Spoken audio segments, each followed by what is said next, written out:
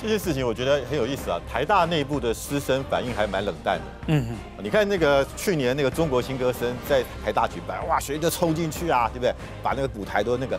这次有没有学生去什么？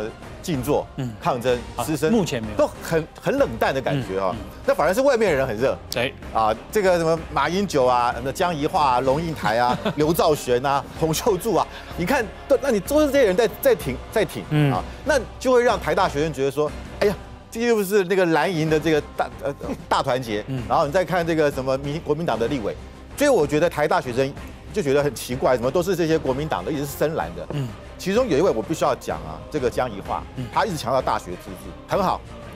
他现在在哪里教书？香港大学，请他回香港大学，你给我喊大学自治，你敢不敢？嗯，如果你在香港大学你不敢 自治，对不对？啊，我敢当做李明哲，对不对？等香港大学现在连要讲个什么港独都不行，对。那你回到台湾，这些就是国民党为什么被人家批评？就是说你在对岸讲一套，回台湾又讲一套。嗯，那你这样如果两边讲的话不一样的时候，那你想？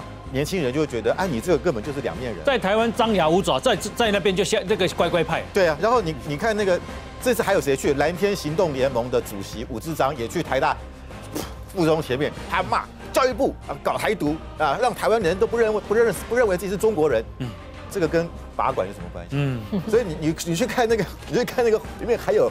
还我还我河山用简写，我还会想，因为可能是陆客来的啊，经过的，也给一个还我河山。嗯，那你今天搞成这样，你五五十张人，那明天是不是那个白狼也要去了？嗯，这所以我就变成说，你把这个停管又跟反台独。